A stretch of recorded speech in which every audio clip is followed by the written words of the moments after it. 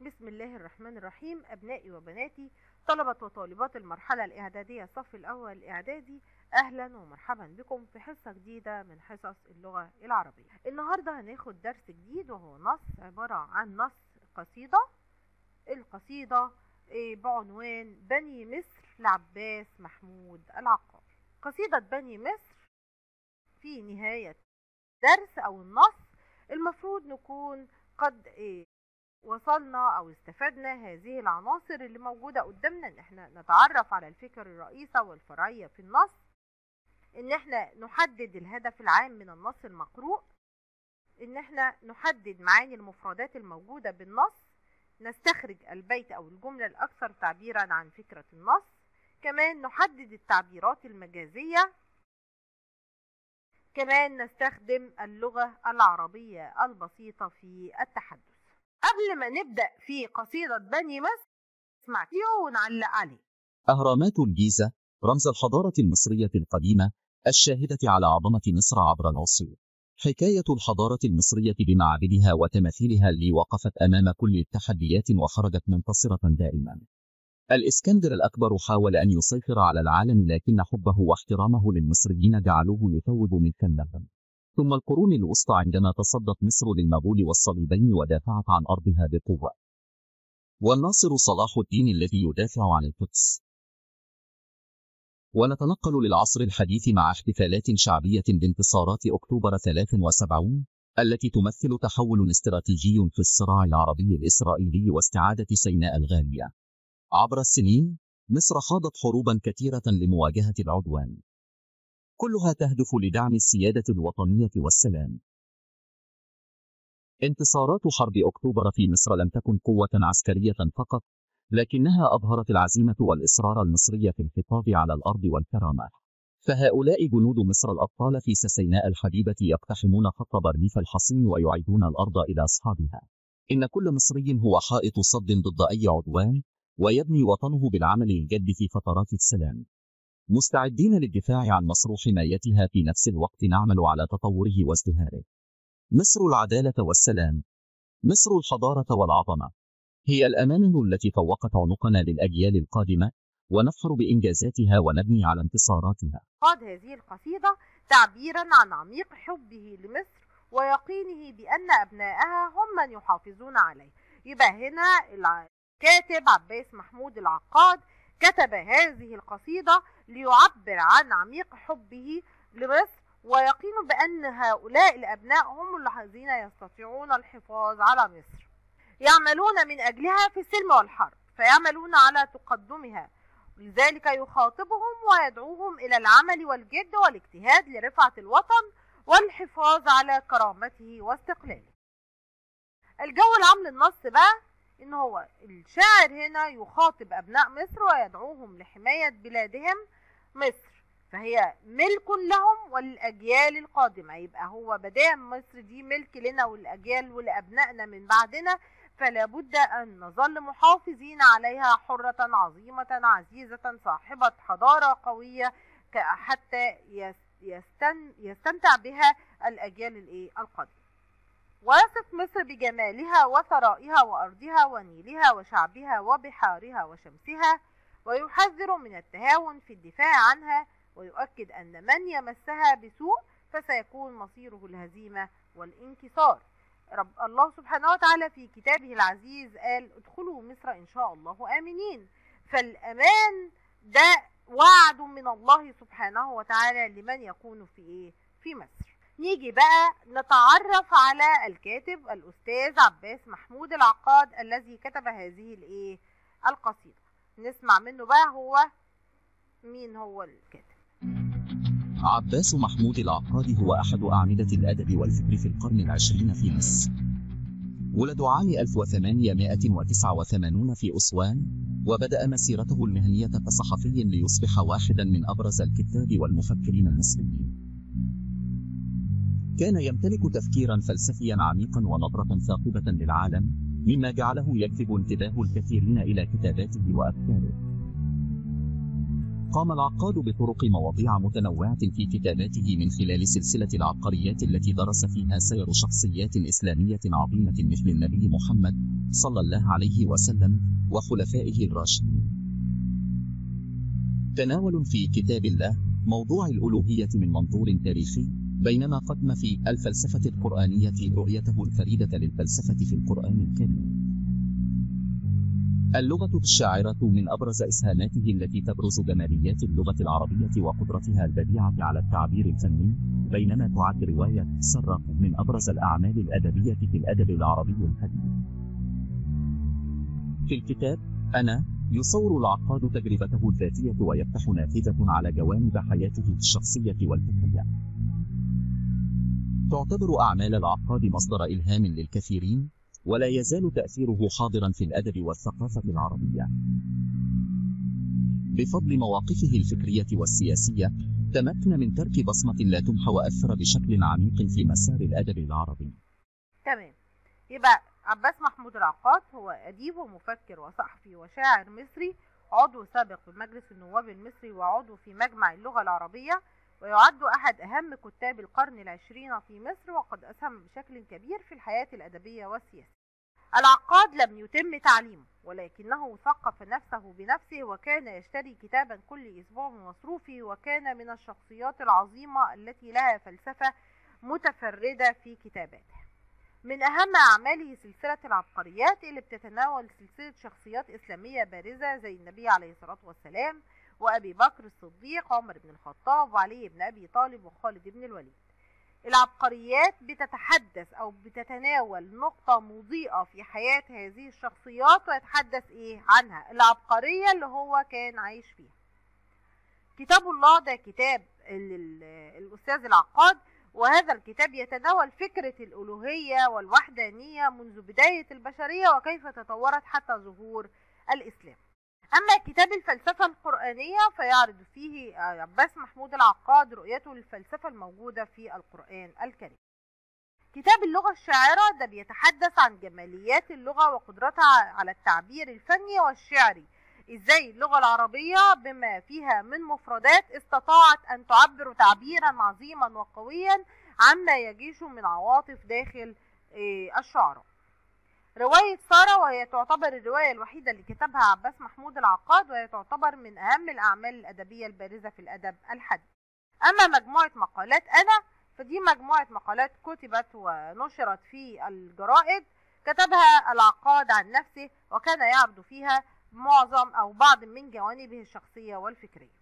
دي أهم الأعمال كتبها العقاد التي أثرت تأثيرا كبيرا في الأدب والفكر العربي. نيجي بقى لفكر وتوقع. فكر وتوقع بيقول لك إحنا عندنا صورة. إيه اللي تبادر إلى ذهنك عندما رأيت هذه الصورة؟ اولا الصورة فيها الأهرامات فيها الجيش فيها الطلبة فيها السيدة فيها العامل فيها الطالب فيها نهر النيل فيها المسجد فيها الكنيسة فيها الكباري وفيها القطارات. ده بيجعل بتبادر إلى الذهن عظمة مصر وحضارتها وكفاح شعبها في السلم والحرب من أجلها لتكون أعظم بلاد العالم. بنقول إن في نهضة عظيمة بتحدث في مصر إن في مساواة ما بين المرأة والرجل إن في مساواة بين العامل والصانع. كل الحاجات دي بتتبادر إلى ذهنك لما نشوف الوحدة الوطنية لما نشوف المسجد والكنيسة يتبادر إلى ذهن الوحدة الوطنية يتبادر إلى ذهن التطور الحضاري العظيم ال- الذي يحدث بمصر هذه الإيه؟ الأيام. في نفس الفكرة في نفس ال- الصورة صف إحساسك عند رؤيتها. نحس بالفخر بوطننا وبالمسؤولية تجاهه حتى يظل مرفوع الهامة محتفظا بكرامته واستقلاله. حماية مصر مسؤولية أبنائها. دي الأبيات الأولى والفكرة الأولى للإيه؟ للنص. بني مصر صونوا لها حقها. كبار النفوس كبار الشيم. لكم مصر لا لدعي دعا ولا لذوي سطوة أو غشم. لكم مصر حيث يقر الثرى وحيث يرف عليها العلم. الشاعر هنا يا أولاد استخدم الصورة الحسية بشكل واضح جدا. بني مصر صونوا لها حقها. كبار النفوس كبار الشيم. لكم مصر لا لدعي دعا ولا لذوي سطوة أو غشم. لكم مصر حيث يقر الثرى يعني يسكن التراب. ده صورة إيه؟ بصرية. أنا بشوفها وحيث يرف عليها العلم صورة بصرية. أنا بشوف الحاجات دي وبلمسها بعينيا ببصري. داخل ووجود في وجود إيه؟ مصر. طيب صونوا معناها احفظوا والمضاد ضيعوا. الأخلاق اللي هي الشيم معناها الأخلاق والمفرد الشيمة. دعي هو ما ينسب لنفسه ما ليس حقه والجمع أدعياء ذو ذوي مفرد المفرد ذو وبمعنى أصحاب. سطوة شدة وقسوة والمضاد لين ورقة. أو غشم ظلم والمضاد عدل. يقر يعني يستقر ويثبت والعكس يتزعزع. الثرى التراب الندي المبلل بالندى والجمع الأثراء. يهتز ويتحرك ما والمضاد يثبت ويسكن. يرف يعني يهتز ويتحرك. هنا يخاطب الشاعر أبناء مصر ويحثهم على حفظ حقوقها. وهنا بني مصر ده نداء أسلوب نداء. لكن حذف الأداء لقرب أبناء مصر من قلبه وحبه إيه؟ لهم. أدائها على أكمل وجه بنفوس عزيزة وأخلاق عالية. يؤكد أن مصر لهم وحدهم وليست لمن يدعي نسبا كاذبا أو لمن يستخدم القوة والظلم للاعتداء على سيادة وأرض إيه؟ مصر. ويؤكد أيضا أن مصر لهم بكل أراضيها وحدودها التي يرتفع عليها علمها ويرفع دي الجزء الأول من القصيدة. الفكرة الثانية جمال مصر وطبيعتها. وحيث جرى النيل من أرضها. تعالوا نشوف هنا الصورة البصرية. جريان النيل. وحيث نما شعبها وازدحم. ده برضو صورة بصرية. وحيث تلاحق موج البحار. على جانبي شطها والتطم. وحيث تلألأ ضوء الشموس وأسفر عن صحوها وابتسم. كل دي صور إيه؟ بصرية. وموج البحار وتلاحقه والتطامه دي صورة سمعية. أنا بسمع صوت التطام الموج ببعضه. دي صورة سمعية. تتابع تلاحق يعني تتابع. التطم ضرب بعضه بعضا. تلألأ لمع والمضاد انطفأ. شموس نجم مشع والمفرد شمس. أصفر يعني ظهر وانكشف والمضاد أخفى صحوها صفاؤها ووضوحها والمضاد غيمها. نيجي للشرح. يعدد الشاعر مظاهر جمال مصر وطبيعتها. إحنا لو تخيلنا كده يا أولاد هذه الأبيات نستطيع أن نرسم صورة جميلة ومشرقة لمصر على الورق. ده موضوع رسم يبقى رائع. النيل بيجري والشعب ينمو ويتلاحق والأمواج في البحار على جانبي الشاطئ كما أن الشمس تتلألأ وتصحو وتكون صحوة وواضحة وصافية والكل مبتسم وسعيد. يعدد الشاعر مظاهر جمال مصر وطبيعتها فيذكر نهر النيل الذي يجري على أرضها وشعبها الذي نما وازدهر فيها. يذكر أيضا الشواطئ التي تتتابع عليها أمواج البحار ويتداخل بعضها ببعض كما يذكر ضوء الشمس الذي يتلألأ فيبعث الحياة والأمل على أرض مصر. نيجي بقى الفكرة الثالثة الدفاع عن مصر بكل قوة. فلا تتركوا ذرة من ثرى. شايفين الذرة من التراب دي ما تسيبوهاش. ليه بقى؟ لباغ ولا قطرة من خضم ولا نقطة من بحر. دي إيه يعني ملككم أنتم وإحنا دايما نقول إن أول ال ال التنازلات تنازل بسيط. ما هو أنت لما تتنازل عن ذرة من الثرى أو نقطة من هذا البحر سيطمع الطامعون في ذرات وقطرات. ولا لمحة من شعاع ثرى. شعاع الشمس اللي بيسري على هذه الأرض العظيمة ولا نفحة من نسيم نسم. ولا نفحة من هواء ينسم على هذه الأرض الطاهرة. وهذه الكنانة من رامها؟ بسوء وها ظهره وانقسم. ده دليل على أن مصر عظيمة حفظها الله يحفظها الله من عليائه لأنها محفوظة باسم بإذن الله دائما. ذرة يعني أصغر جزء في الشيء. لباغ يعني ظالم والجمع بغاة. خضم بحر واسع. ثرى انتشر النفحة المراد جزء صغير نسم يعني هبة. الكنانة وعاء السهام المراد مصر. يعني إيه وعاء السهام يا ولاد؟ اللي هو الجراب اللي كانوا الفرسان بيحطوا فيه السهام زمان. مش أنتم كنتوا بتشوفوه يحط على ظهره كده جراب من الجلد وفيه أسهم؟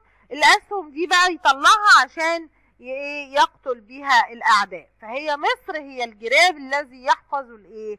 السهام دليل على مكانة مصر العظيمة. من رامها؟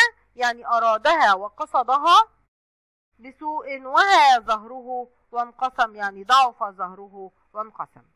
يحث الشاعر الأبناء مصر بكل قوة ألا يفرطوا في شبر من أرضها. فمن فرط في قطرة من ماء أو ذرة من تراب فرط في بقيتها. ولا لمحة من أشعة شمسها أو نسمة من هوائها ويؤكد أن أي معتد يحاول النيل من مصر سيلقى مصيره المحتوم وهو الانكسار والهزيمة كما وعد الله سبحانه وتعالى. نيجي بقى لإقرأ واكتشف. أجب عما يلي. بماذا تشعر عند قراءة هذه الأبيات؟ بالفخر والعزة والكرامة تجاه إيه؟ مصر. التعبيرات الكلمات التي خلقت صورا حسية. ما ترى ما تسمع ما تلمس. إحنا عندنا تلاحق موج البحر والتطم. ده رؤية تلألأ ضوء الشمس. صورة بصرية. نفحة من نسيم النسم صورة بصرية. وعندك كمان تلاحق موج البحر والتطم. ده صورة سمعية. أنا بسمع صوت الإيه؟ الموج. طيب هنا لمن يوجه الشاعر خطابه؟ السؤال الأول يوجه الشاعر خطابه إلى أبناء مصر. السؤال الثاني بماذا يفتخر الشاعر في الأبيات؟ يفتخر الشاعر بمكانة وحضارة وعزة وكرامة وطنه وأمجاده. السؤال الثالث استخدم الشاعر الكثير من الأساليب واذكر اثنين منها عندنا بني مصر أسلوب نداء وعندنا صونوا أسلوب أمر. نيجي للتعليق العام على النص وده اللي فيه الجماليات نتكلم عن الفن الأدبي الأول. وإحنا عارفين إن الأدب ينقسم إلى نثر وشعر والنثر هو ما يندرج تحته من روايات وقصص قصيرة ومقالات ورسائل وتعبير كتابي. كل الحاجات دي اسمها نثر. أما الشعر فهو كل ما كتب وله وزن وقافية. ده الشعر. وهذا الشعر من فن الشعر الإيه الوطني. نيجي للغرض الشعري من النص. هو غرض النصح حيث يحث الشاعر أبناء مصر على الدفاع عن بلادهم ويحذرهم من التخاذل عن حمايتها عاطفة الشاعر. عاطفة الشاعر يسيطر عليها حب الوطن ويظهر ذلك في حماسته الممزوجة بالإعجاب بجمال الطبيعة الموجود في مصر. الفكرة الرئيسة الدعوة إلى حماية مصر والدفاع عن أرضها ومواردها. التعليق العام عن النص الفكرة التفصيلية الأفكار اللي موجودة في النص عندنا الدعوة لصون مصر وحماية حقوقها. مصر ملك لأبنائها وليست لمعتد أو غاصب. تقدير مكانة مصر ورموزها كالنيل والعلم. أهمية الدفاع عن مصر ومواردها. المصير المحتوم لمن يحاول الاعتداء على مصر. طيب ليه يا ولاد؟ أنا بقول إن العلم رمز من رموز مصر. لأن أي معتدي لما بيجي وبيجي يشيل العلم من مكانه ويرفع علمه فهو بيعتبر كده خد احتل هذا الإيه؟ المكان. فالعلم المرفرف المرفوع دائما يرمز على عظمة وحرية واستقلال مصر. الصور الحسية وده اللي إحنا بنتكلم عنه إن الشاعر استخدم صور حسية من خلال بعض الكلمات والتعبيرات التي تحرك حواس القارئ. من هنا جاية كلمة حسية. كالبصر والسمع واللمس والتذوق مثل يرف العلم جرى النيل تلألأ ضوء الشمس نفحة من نسيم وهذه الصور تقوي من شعورنا بالجو العام للنص وفهمنا لفكرته نيجي السمات الأسلوبية للشاعر بيعتمد على الصور الحسية وده شفناها. التنويع بين الأساليب إحنا اتكلمنا عن أسلوب نداء واتكلمنا عن أسلوب أمر. قلة التعبيرات المجازية هي معظمها تعبيرات موجودة طبيعية موجودة في في حياتنا. تكرار بعض الألفاظ لتأكيد المعنى مثل لكم وحيث كمان ملامح شخصية الشاعر التي تظهر في القصيدة أنه محب لوطنه مقدر لدور أبناء الوطن في تقدمه وازدهاره محب للطبيعة وجمال مصر عزيز النفس رافض للظلم كمان مرهف الحس والإيه والمشاعر. هنجاوب بقى على بعض الأسئلة كيف يمكن لأبناء مصر تطبيق نصيحة الشاعر. يمكنهم من خلال الحفاظ على كنوز وثروات الوطن الوقوف بكل قوة ضد الفاسدين والإيه؟ والمعتدين. طيب لماذا كان يشعر الشاعر عند كتابة هذا النص؟ اذكر ثلاثة أدلة وإحنا قلنا العاطفة المسيطرة على الشاعر اللي هي حب الوطن والانتماء لمصر. نادى أبناء مصر الحفاظ عليها نصح أبناء مصر بعدم التخلي عنها وتعديد المظاهر الخير والجمال في مصر. على ما يدل استخدام الشاعر لكلمة الكنانة في وصف مصر يقول يدل على أنها محفوظة كما تحفظ السهام داخل الكنانة أو الوعاء العلاقة بين الأبيات التي تصف جمال مصر والأبيات التي تحث في الدفاع عنها بنقول تعزز حب مصر والفخر بها وهذا يحفز أبناء مصر إلى حمايتها والدفاع عنها والإبقاء على هذا الجمال كما هو. لنا وللأجيال الإيه؟ القادمة. ماذا تقترح لغرس الانتماء للوطن وحب التضحية من أجله في نفوس الصغار؟ نعمل إيه؟ تعرفهم تاريخ وطنهم العريق سواء من الحضارة الفرعونية أو الإسلامية أو القبطية أو اليونانية. إحنا عندنا تنوع في الحضارات لم يسبق في مكان آخر. تعرفهم بأفضال وطنهم عليهم حث الآباء والأمهات على الحديث معهم عن قيمة الوطن الحديث أمامهم عن الشخصيات التي رفعت اسم الوطن عاليا. كل العلماء والأدباء والأبطال الذين ضحوا بأرواحهم في سبيل وطنهم مصر. نيجي للتحليل البلاغي للنص. التعبيرات المجازية بني مصر تشبيه لمصر بالأم والمصريين بأبناء لها. نما شعبها تشبيه للشعب بالنباتات التي تنمو. أسفر عن صحوها وابتسم تشبيه للضوء بإنسان يظهر الصفاء ويبتسم. وقلنا إن هو مقل من استخدام التعبيرات الإيه؟ المجازية. نيجي الدلالات وضح ما تدل عليه هذه العبارات. كبار النفوس كبار الشيم تعبير يدل على عزة الشعب المصري وسمو أخلاقه. ولا لذوي سطوة أو غشم استخدام الجمع ذوي يدل على كثرة المعتدين الذين حاولوا التعدي على مصر حيث جرى النيل من أرضها. إشارة لمكانة النيل ودوره في استقرار مصر ومنزلته عند المصريين. تلألأ ضوء الشموس وأصفر عن صحوها. تعبير يدل على طبيعة مصر الساحرة وجوها المعتدل. ألا تتركوا ذرة ولا قطرة ولا لمحة ولا نفحة ده تأكيد على أهمية الدفاع عن مصر وعدم التنازل عن أقل القليل من أرضها أو خيرها. لأن زي ما قلت لكم قبل كده التنازل يبدأ بالصغير ثم ينتهي للإيه؟ للكبير. الكنانة وصف مشهور لمصر يشبهها بجعبة السهام. زي ما قلت لكم الجراب الجلد اللي بيتحط فيه الإيه؟ السهام. للدلالة على قوتها ووحدتها في مواجهة الأعداء. تلألأ تدل على الوضوح والظهور الظهور والوضوح الإيه؟ التام. صحوها تدل على الصفاء والوضوح. نيجي للأساليب. بني مصر أسلوب نداء إنشائي نوعه نداء. صونوا أسلوب إنشائي نوعه أمر. لا تتركوا أسلوب إنشائي نوعه نهي. والغرض العام للأساليب الإنشائية وجذب انتباه السامع وإثارة ذهنه وتشويقه مع تعزيز الشعور والانطباع الذي أراد الشاعر إيصاله.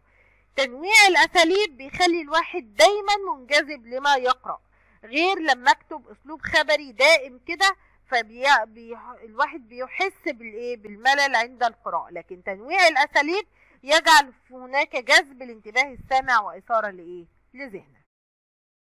العلاقات بين الكلمات يقر ويرفرف بينهما تضاد يوضح المعنى ويبرزه ويعمق أثره في النفس. نسيم ونسم بينهما إيقاع موسيقي يطرب له الأذن. العلاقات بين الجمل وها ظهره وانقسم علاقتها بما قبلها. نتيجة. نيجي للبلاغيات بقى والصورة الحسية وعلاقتها بالأحاسيس. الصور الحسية إحنا اتكلمنا عنها من خلال الأبيات وقلنا إن الشاعر استخدم صور حسية كتيرة جعلت الإنسان يحس أنه ينظر إلى ما يقرأ أو يسمع ما يقرأ وبالتالي فهي صور تستهدف التفاصيل الحسية والكلمات والعبارات التي تحفز حواس القارئ البصر اللمس التذوق الشم السمع وما يشعر به أثناء قراءته للنص. وده بيساعده على تخيل أو إنشاء صورة ذهنية لكلمات الشاعر ويعزز الأحاسيس زي لقد تجولت في حديقة عطرة أدا حديقة عطرة أدا شم أعجبت بالزهور الملونة أدا بصر واستمعت إلى زقزقة العصافير أدا سمع. فكل الحاجات دي بتؤكد أو تستهدف التفاصيل اللي بتخلي الإنسان يعمل صورة ذهنية للكلمات تعزز إحساسه بها. أنواع الصور الحسية بصرية اللي هو ما يرى بالعين كالألوان سمعية ما يسمع بالأذن كالأصوات شمية ما يشم بالأنف كالروائح تذوقية ما يستطعم باللسان كالطعام ولمسية زي ما يحس بالجلد كالحرير. العاطفة. العاطفة بقى هو الشعور الناتج عن الصورة الحسية. يعني أنا بتكلم عن جمال الألوان الزهور ده بيدعو للتفاؤل وبيوصل لي الشعور بالتفاؤل والأمل. ده اللي بيوصل للمعنى المطلوب اللي بيوصل للقارئ يبقى ده النتيجة من الصورة الحسية وده بنسميه العاطفة. يبقى الصورة الحسية النتيجة اللي بتنتج عنها هي العاطفة. نيجي بقى اقرأ الجمل التالية وحدد الصور الحسية ثم اذكر ما شعرت به عند قراءة كل جملة. كانت الرياح تعصف والأشجار تهتز بعنف دي صورة بصرية واللي شعرت بيه الخوف رائحة الزهور الفواحة ملأت المكان. شم والانتعاش. كان الجو مشحونا بالتوتر والقلق بقاعة الامتحان. بصرية القلق والتوتر. سمعنا زقزقة العصافير في الصباح. ده إيه؟ سمعية. برافو عليكم. ده تحس بالتفاؤل. كانت السماء ملبدة بالغيوم والبرق يلمع بين الحين والآخر بصرية تدل على البرودة. طعم الشوكولاتة الحلو انتشر في فمي تذوق والطعم الحلو. كان الجميع يشعرون بالحزن والأسى دي سمعية وما شعرت به الحزن والأسى. لمست الحجارة الباردة ده لمس والإحساس أو الشعور البرودة. نجيب عن بعض الأسئلة هل نجح العقاد في استخدام الصور الحسية لنقل ما شعر به القارئ؟ أكيد طبعا لأنه في وصفه المصري استخدم صورا حسية كثيرة زي قر الثرى يرف العلم وضوء الإيه؟ الشموس هل ترى أن القصيدة تعزز الهوية والانتماء للوطن؟ حد حلل مع دليل من النص نعم هي تعزز مفهوم الهوية والانتماء والوطن حيث يدعو الشاعر أبناء مصر لحماية أرضها ضد الدخلاء ويذكرهم بما فيها من خير وإيه وجمال. من خلال معرفتك بالشعر وقراءتك الأبيات فيما تتمثل الهوية من وجهة نظر العقاد. الهوية الوطنية أو الإحساس بالانتماء للوطن الحفاظ عليه. عدم التفريط في شبر من أراضيه ولا قطرة من مائه. هو ده اللي بيمثل الهوية المصرية العظيمة في داخل أبنائها. ما الفكرة التي عززت به القصيدة مفهوم الهوية لديك؟ تعزز مفهوم الهوية من خلال توضيح أن الوطن ملك لأبنائه يجب عليهم الدفاع عنه وقت الحرب وحفظ حقه وعدم التفريط في شبر منه. كمان العمل على تقدمه واستظهاره وقت الإيه؟ السلم. نيجي للتدريبات. يطلب الشاعر من أبناء مصر الاستسلام وعدم الدفاع عن وطنهم. صح ولا غلط؟ أيوة خطأ استخدم الشاعر الكنانة رمزا لقوة وصلابة مصر. الإجابة صحيحة. يعد نهر النيل مصدرا للحياة والنماء في مصر. الإجابة صحيحة. بني مصر أسلوب أمر. لا طبعا الإجابة خطأ. بين كلمتي صمت وضجة ترادف يوضح المعنى. صمت وضجة ترادف؟ لا هو تضاد. الإجابة خطأ. نجح الشاعر في تعزيز ارتباط أبناء مصر ووطنهم بالأوصاف الطبيعية أو جمال الطبيعة والأوصاف الحسية اللي كانت موجودة. تمام. قصيدة بني مصر نيجي لتخير. الإجابة كبار النفوس كبار الشيم. يعني عظمة وسمو الأخلاق الشعب المصري عدم قدرة الشعب المصري على الصمود عناد المصريين وجمودهم لا هي عظمة وسمو أخلاق الشعب المصري. التعبير بموج البحار في الأبيات يدل على قوة البحار. يشير الشاعر في البيت الأول إلى أن مصر وطن لكل المصريين ملك الأقوياء مهد للحضارات وطن لكل المصريين. يشير الشاعر في البيت الخامس إلى قوة مصر. نيجي للتطبيقات على النص بقى. نيجي للنص ده. للأمام للأمام. يا بني مصر الكرام من يرم نيل المرام؟ ينبغي ألا ينام. مصر تدعوكم جميعا فأجيبوها سريعا. ولنكن شعبا مطيعا بحقوق الأم. قاب. شوفوا الجمال والنغمات وال... والألفاظ البسيطة في النص يخلي الواحد يحفظه بسرعة. طيب الإجابات بقى؟ بيقول لك معنى كلمة المرام. نيل المرام. معناها المرغوب ولا البعيد ولا المستحيل. تمام المرغوب. كان مضاد كلمة مطيعا. رافضا ولا عاصيا ولا متخاذلا. هي عاصيا. جمع الأم الإماء ولا الآئمة ولا الأمهات؟ تمام الأمهات. يطلب الشاعر من أبناء مصر سرعة الإجابة لندائها ترك الشائعات قتال الأعداء. تمام. سرعة الإجابة لندائها. الهدف من تشجيع الشاعر لأبناء مصر على التقدم للأمام الحفاظ على مصر النوم جمع المال لا هو الحفاظ على مصر. من ملامح شخصية الشاعر في الأبيات محب للعلم ومحب لمصر محب للسفر إيه رأيكم؟ تمام هو محب لمصر. الغرض من كتابة الشاعر لهذه الأبيات دعوة لطلب الحق دعوة للقتال دعوة للاهتمام بمصر. تمام هي دعوة للاهتمام بمصر. لنكن شعبا مطيعا أسلوب أمر ولا نداء ولا تعجب أسلوب أمر. تمام. نيجي للتطبيق الثاني في جزء من التعبير الشعر المتحرر النصوص المتحررة. وطن النجوم أنا هنا. حدق أتذكر من أنا. شوف وطن النجوم يعني هذا الوطن الذي يلمس السماء بعظمته وقوته و... وازدهاره. حدق بص كده أتذكر من أنا. أنا ذلك الولد الذي دنياه كانت ها هنا. أنا من مياهك قطرة. فاضت جداول من سنة. أنا من ترابك ذرة. ماجت مواكب من منى. يبقى هنا الشاعر بيتحدث عن وطنه وبيقول له بص أنا فين؟ أنا كنت هنا في هذا المكان العظيم. أنا الولد اللي كانت دنيته كلها هنا. أنا جزء من مياهك وجزء من أرضك وجزء من المواكب اللي كانت موجودة في حياتك.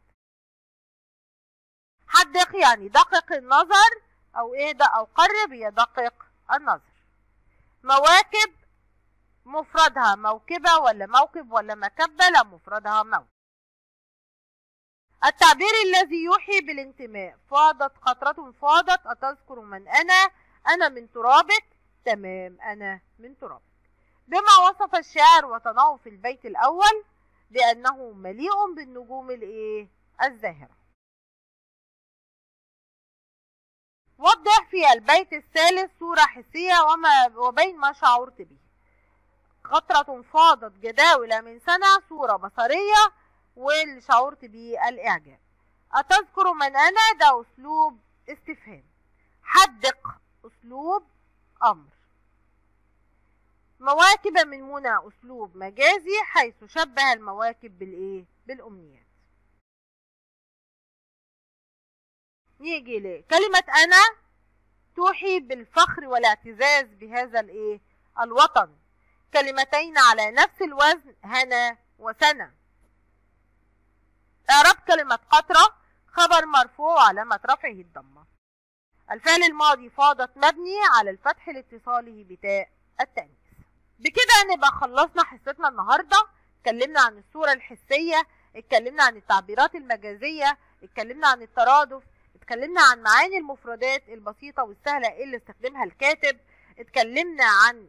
الكاتب والأديب والشاعر العظيم آه عباس محمود العقاد في هذه القصيدة. وده الفورم بتاعنا اللي إحنا بنسجل فيه وبنحل بعض الأسئلة. سايبالكم طبعا السؤال إيه رأيكم في الحصة وتحبوا نضيف فيها إيه, إيه أتمنى إن أنتم تكون الحصة مفيدة بالنسبة لكم ومش مملة.